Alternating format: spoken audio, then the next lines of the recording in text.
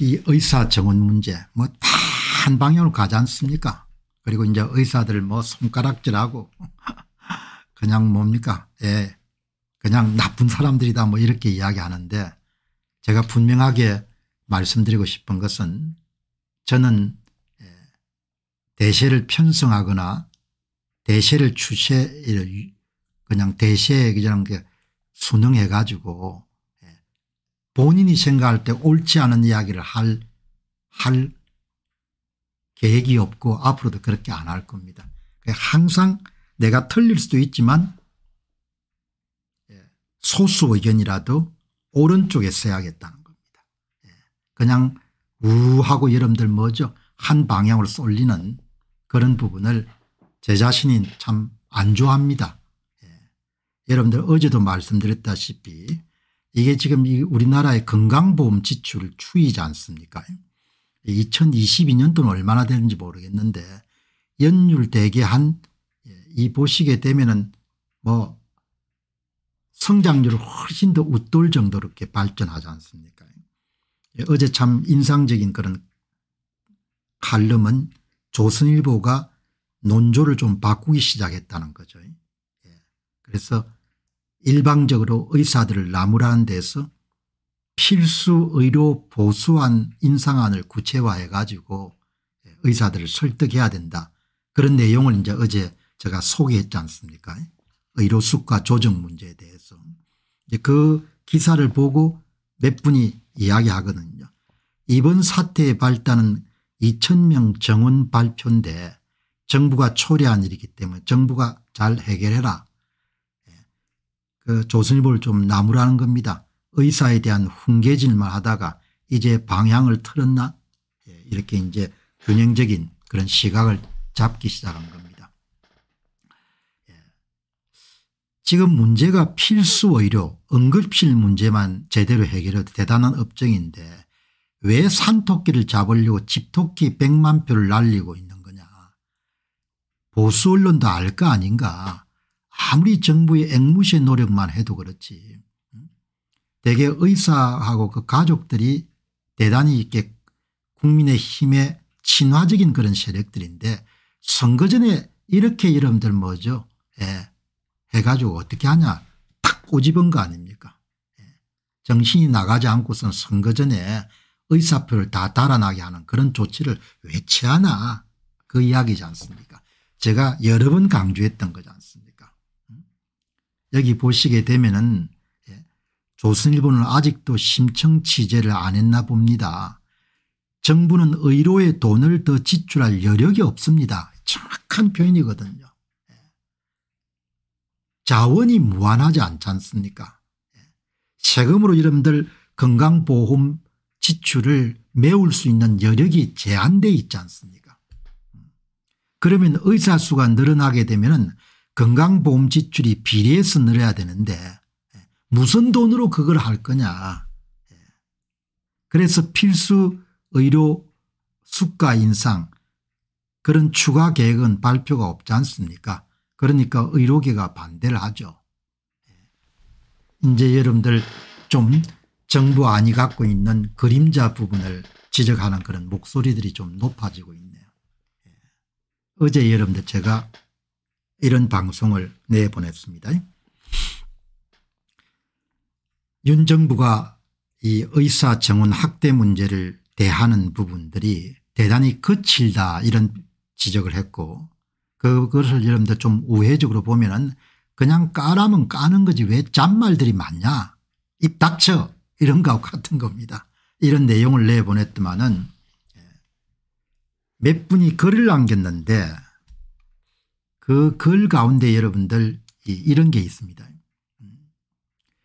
윤 정부가 필수 진로를 늘리겠다고 내놓은 정책 중에 하나가 비급여 진로와 급여 진로에 그러니까 건강보험 지출을 통해서 카바가 되고 있는 분야와 카바가 되지 않는 분야 그 그걸 비급여 진로 급여 진로 이걸 혼합 진로를 금지하겠다 그런 내용이 아마 들어있는. 그럼 현재 이제 의사분들은 예. 급여 진로 부분에서 발생하는 적자를 비급여 진로로 이렇게 메우는 그런 형태의 이제 혼합 진로가 성행하고 있었는데 여기 나오네요.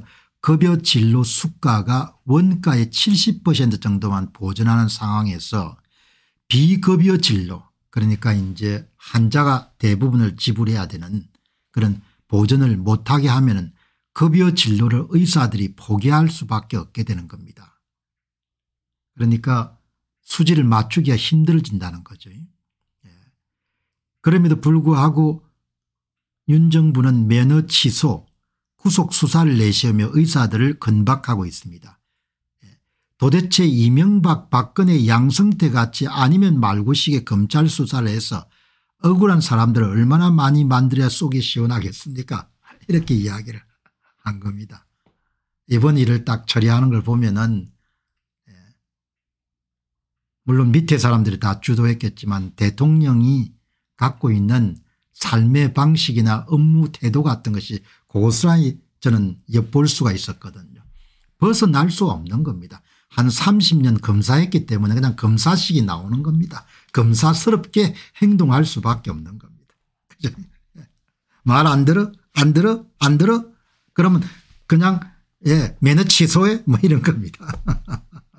그죠? 예. 자, 이 보시게 되면은 음, 예. 어제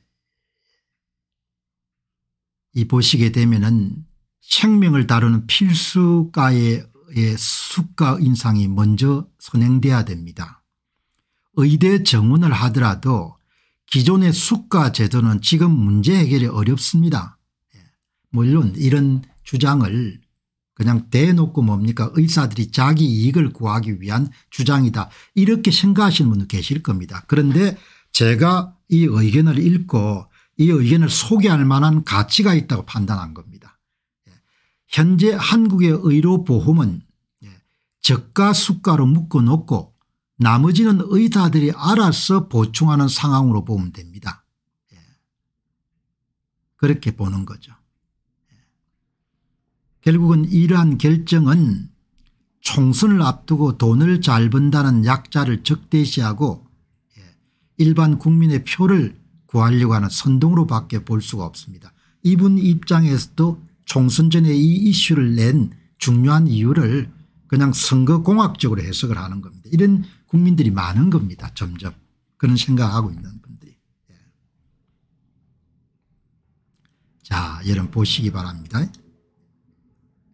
전국의 47개 3차 병원에 필수과 10개 교수들 3명을 연간 2억씩 주며 신구 고용한다고 해도 연간 2820억 밖에 들어가지 않습니다.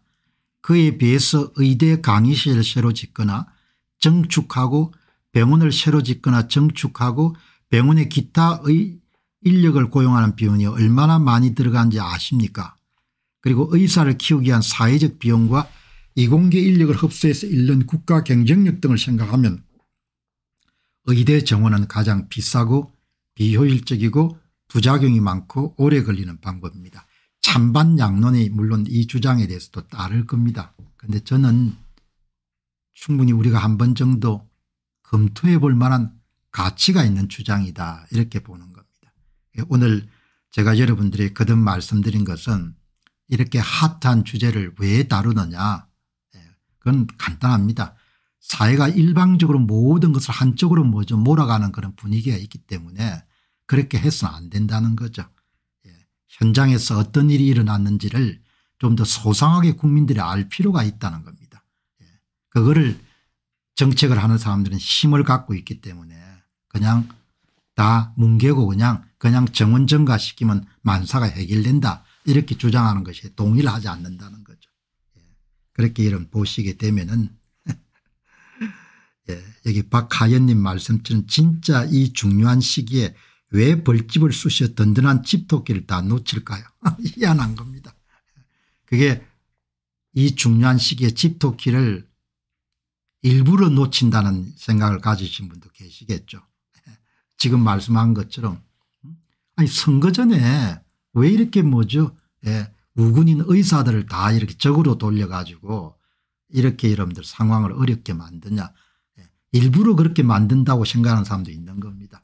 예, 의사 수는 소, 소수고 예, 다수 국민들은 좋아할 거니까 그러나 다수 국민들이 실상을 알게 되면 그렇게 간단한 문제가 아니구나 그렇게 알게 되는 거죠. 예. 자, 이 보시게 되면은 오늘 이게 페르키나님 말씀처럼 지금도 의대를 나와서 의사 직업 포기하고 다른 일 하시는 분들도 많을 겁니다. 홍준서님께서는 덕이 되든 안 되든 사회적 혼란을 야기할 게 분명한데 혼란을 막아야 될 대통령이 무슨 생각하는지 모르겠습니다. 제가 갖고 있는 비슷한 생각이거든요. 예. 나중에 의료 대란이 발생하고 나면 결국은 원성이 다 행정부로 향할 건데 무슨 생각으로 저 사람들이 저렇게 예. 총선 끝나고 해도 되지 않습니까 예. 총선 끝나도 시간 두고 충분히 수기를 해가지고 음. 그래서 이제 오늘 그 이야기가 나왔는데